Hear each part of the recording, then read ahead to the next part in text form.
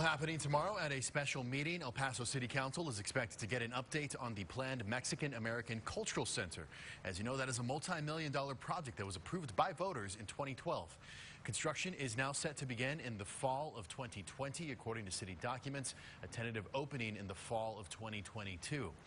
As you've reported, after a lot of back and forth, the city settled on building the center as an addition to the downtown public library.